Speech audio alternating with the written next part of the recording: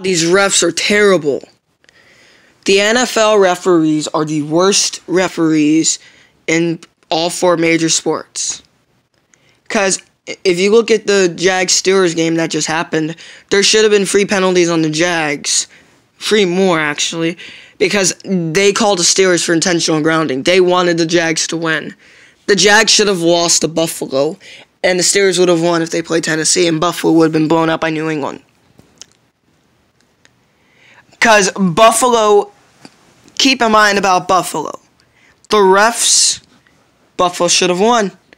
But because of a terrible interception call, because clearly that Jacksonville player bobbled it,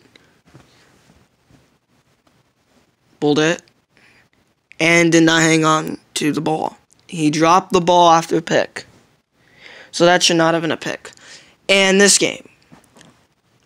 I know it is over. I'm still not going to let it go because of the refs. And as a Packers fan, I'm going to say this. The referees are going to be. Sh- I don't know what to say about the referees because they're terrible. They've been terrible ever since 2012 and Super Bowl 40 because Super Bowl 40, there were worse calls. Alls. There were terrible calls like that Ben touchdown that he clearly wasn't in. The officiating was the reason the Jags won. The officiating won, the Jags lost.